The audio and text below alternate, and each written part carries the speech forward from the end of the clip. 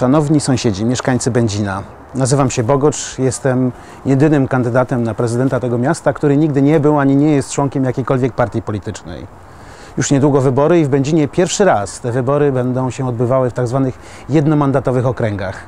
Nie będziemy głosować na tajemnicze e, partyjne listy, tylko będziemy głosować na konkretnych ludzi. To niezwykła szansa.